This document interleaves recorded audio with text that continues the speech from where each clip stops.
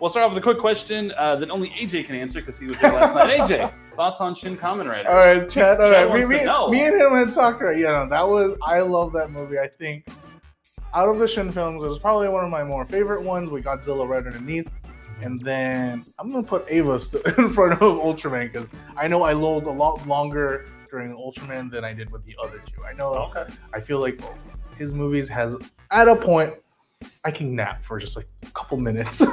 Okay. But it was Non-stop, Quick cuts. yeah, yeah, yeah. Funny is like the fights are Ah, like super Fast. fast. like the fights, like put it on fast forward, and I'm like, oh, all right, I guess that's how the fights will be. You know, the bike ends on P Bandai in about a couple days, and after watching that movie, I feel like I need to order. I need to order me a couple bikes. So That's fair. yeah, like not just one bike. I, I think I need like four Oh my gosh. They'll have traffic. And if you missed yesterday's screening, they're going to have another screening on Monday, correct? on the fifth. Yes, I know someone online's like I can't make it to both. I'm like, oh darn work.